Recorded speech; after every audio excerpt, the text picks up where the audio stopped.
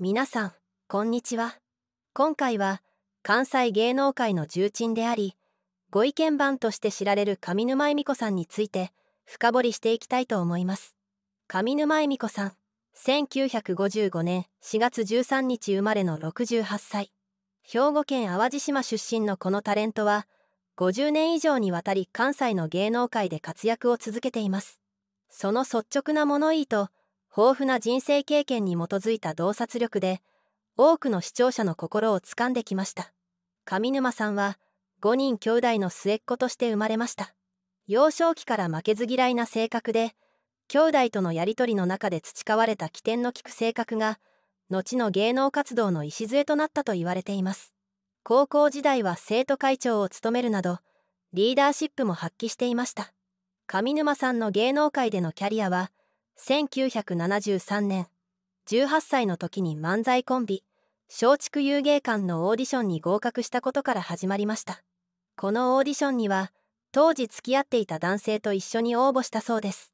しかし上沼さんだけが合格し男性は落選。これをきっかけに2人は別れることになりました。この経験が後の上沼さんの恋愛観や人生観に大きな影響を与えたと言われています。デビュー後上沼さんは急速に頭角を現します。1986年からはサンテレビの「女の悩みなんでも相談」に出演。この番組で10年間にわたり視聴者の悩みに対して率直かつ的確なアドバイスを送り続け関西のお母さんとして絶大な人気を獲得しました。上沼さんの影響力はテレビ番組での発言だけにとどまりません。2024年6月24日パーソナリティを務める ABC ラジオ。上沼恵美子の心晴天での発言も注目を集めました。28年ぶりにサンテレビに出演した感想を。感動して震えましたね。昔の神戸の街並みであるとか懐かしい映像で振り返ることができ幸せだなと思った。と語り自身のキャリアを振り返っています。皆さんが上沼恵美子というタレント像を持っていらっしゃったらあそこで培われた。なぜかというと好きなようにさせてもらった。台本があってないようなものだった。この発言からは上沼さんの芸風が自由奔放な雰囲気の中で培われたことがうかがえます。また5年前に引退しようと思っていたけどしなくてよかったと思う。という言葉からは芸能活動への強い思いと観客からの支持に対する感謝の気持ちが読み取れます。上沼さんの影響力の源泉はその率直な物言いだけでなく自身の経験に基づいた発言にもあります。2018年に公表した不言病の経験もその一つです。不言病とは夫の言動が原因で心身に不調をきたす状態を指す造語です。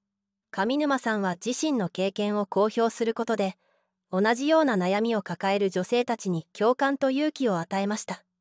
めまい頭痛耳鳴り動悸息切れ胃痛不眠全身の痛み呼吸困難といった症状を具体的に挙げることで視聴者に対してより具体的なイメージを与えています。さらに旦那さんと週末だけ一緒に過ごす別居婚で現在はだいぶ良くなってきていると現在の状況を明かすことで問題解決の可能性を示唆しています。このように上沼さんは自身の経験を赤裸々に語ることで視聴者との距離を縮め共感を得ることに成功しています。これは単なるタレントではなく関西のお母さんとして親しまれるゆえんでもあるでしょう。上沼さんの影響力は芸能界内にとどまりません。彼女の発言は時として社会的な議論を巻き起こすこともあります。例えば不倫問題や夫婦関係といったテーマについての彼女の率直な意見はしばしば世間の注目を集め議論の的となります。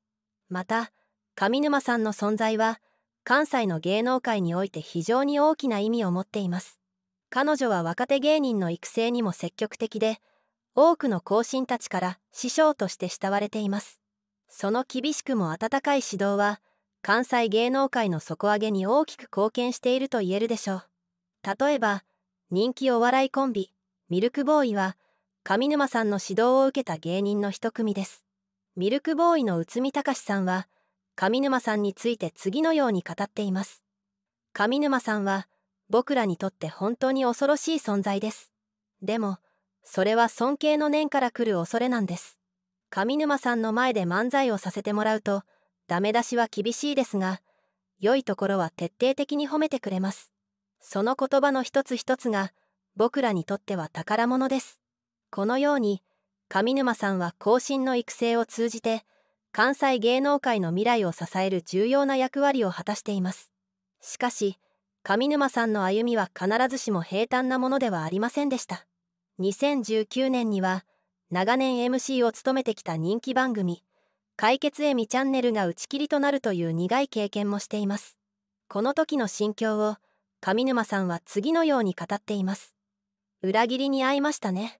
ドカンとジャンプしてそこへ落ちていった。ちょっとしんどかった。乗り越えて乗り越えてというよりも実はこの5年なんかぼやーと過ごしてきた。この言葉からは番組打ち切りという出来事が上沼さんに与えた衝撃の大きさが伝わってきます。しかしそんな苦境を乗り越え再び輝きを取り戻した上沼さんの姿は多くの人々に勇気を与えています。上沼さんの魅力はその率直な物言いだけでなく自身の弱さや苦労を隠さずに語る姿勢にもあります。現在68歳となった上沼さんですがその活動に陰りは見られません。むしろ年齢を重ねるごとにその言葉に重みが増しているようにも感じられます。彼女の発言は単なる芸能人のコメントを超えて時に人生の指針となるような深みを持っています。最近では上沼さんは社会問題にも積極的に取り組んでいます。特に女性の社会進出や高齢者の生き方について自身の経験を踏まえた発言を行っています。例えば2023年に行われた講演会では次のように語っています。私は68歳になりました。でも年齢なんて関係ない。やりたいことがあれば何歳からでも始められる。私自身60歳を過ぎてから新しいことにチャレンジしています。皆さんも自分の可能性を信じてどんどん挑戦してください。この言葉は多くの高齢者に勇気を与えました。上沼さんの影響力は芸能界を超えて社会全体に及んでいるのです。上沼恵美子さん彼女の存在は日本の芸能界特に関西の芸能界において非常に重要な位置を占めています。その率直な物言いと豊富な人生経験に基づいた洞察力は多くの視聴者の心をつかみ時に社会に一石を投じる力を持っています。今後も上沼さんはその独特の視点と鋭い洞察力で私たちに新たな気づきを与え続けてくれることでしょう。彼女の言葉に耳を傾けることは時に自分自身を見つめ直す良いきっかけになるかもしれません。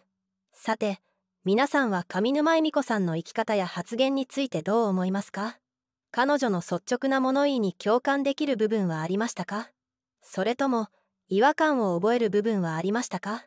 最後までご視聴いただきありがとうございます。今回の動画の感想や扱ってほしい話題があればコメントいただけると嬉しいです。そしてこの動画が良かったら高評価チャンネル登録よろしくお願いいたします。